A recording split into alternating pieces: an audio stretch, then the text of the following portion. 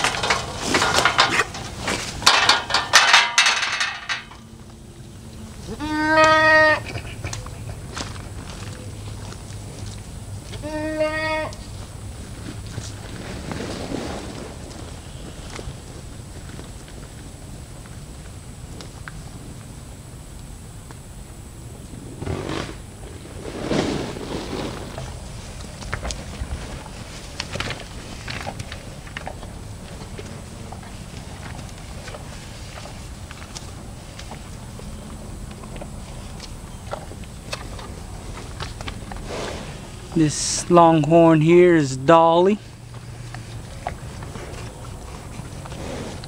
This is our Dolly.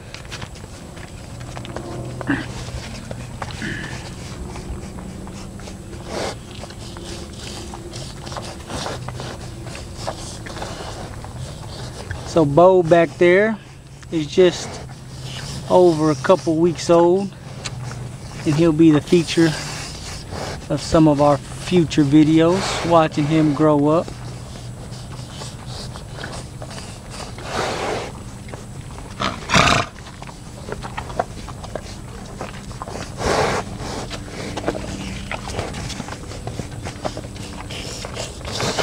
Only the strong survive here on the homestead and the goat has proven to be resilient he is 1 16th their body weight gets pummeled but poor Otis keeps coming back for more.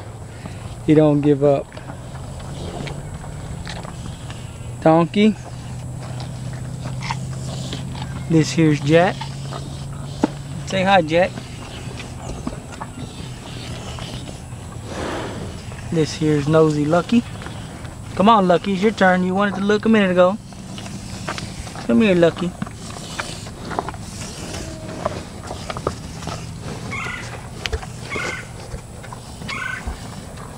There's good old Lucky.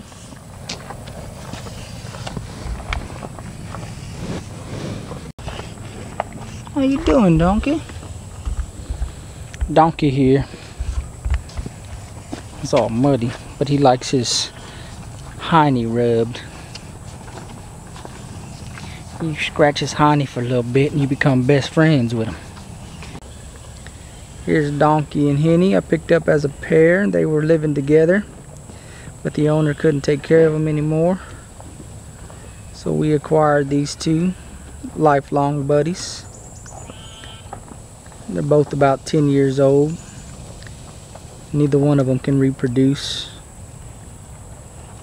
So they're just living out their life here on the homestead and helping us protect from the predators. Donkey does not care for dogs at all or any four-legged little creature running around.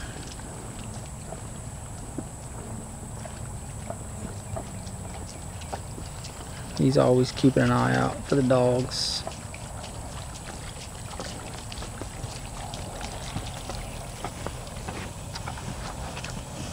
But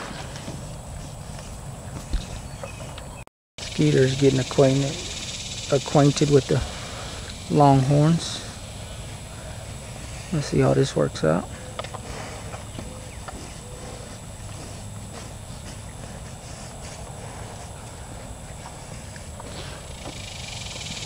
Bobo.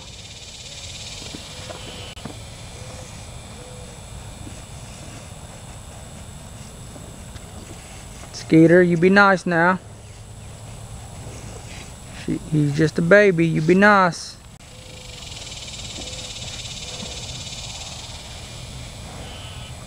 It's good that they get acquainted because Bobo needs to know that Skeeter might be taking care of him for a while. Helping him out.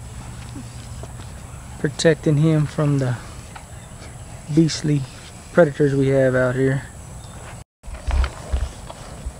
So here's little Bobo. Hey Bo. We're hoping he's gonna have a set of horns. If he grows some horns, we're looking at keeping him. If he doesn't grow horns, he'll either be up for adoption, relocating, we'll sell him, or we feed him out. We could send him to butcher. But Bobo, we're hoping Bobo has horns. We might keep him around on the homestead just to have an extra set of horns as we look to uh, build our longhorn herd. But nonetheless, my plans with her, she's got some decent horn length and the base of her horns, the diameter or the circumference around the horn base is significant. Pretty good, I like it.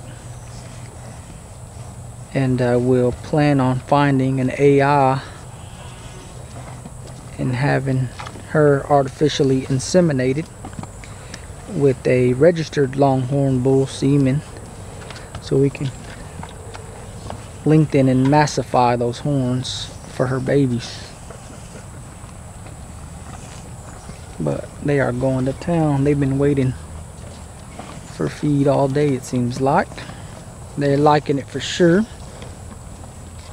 So they have dwindled down their hay and we've got quite a bit of standing water right now in some areas because of the heavy rains we've had over the last week. And they don't have a whole lot of green to eat so they are loving this snack.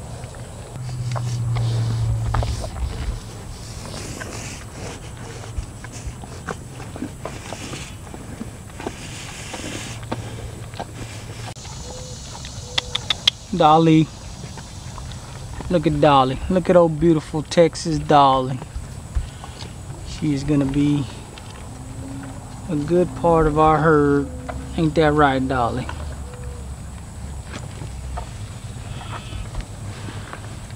Ain't that right, Dolly?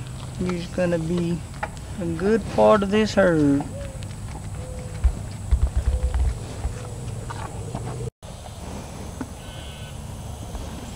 Hey, honey. What you doing, honey? This is our pregnant girl, honey, here. She is about six months pregnant. She's got a belly on her. You can see from her side profile Look how much that belly sticks out. She is very prego.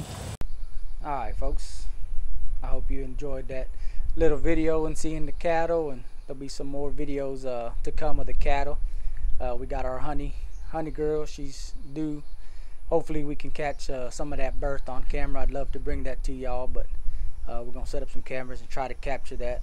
But, um, you know, it's Mother Nature we may we may not. We'll just have to see but thank you for watching the video and just remember till next time